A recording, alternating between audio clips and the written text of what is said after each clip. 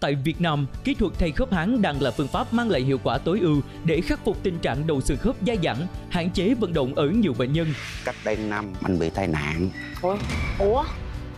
nó ảnh hưởng đến cái khớp háng của anh á nó cái đau âm ỉ âm ỉ âm ỉ không có đi đứng gì được á Em nghĩ á, là bây giờ nếu như anh còn cảm thấy không yên tâm thì nên thăm khám bác sĩ đi. Em mời hai người nghe bác sĩ tư vấn về chuyện điều trị thay khớp háng nè. Vậy phương pháp phẫu thuật thay khớp háng là gì? Phương pháp này được chỉ định cho những trường hợp nào?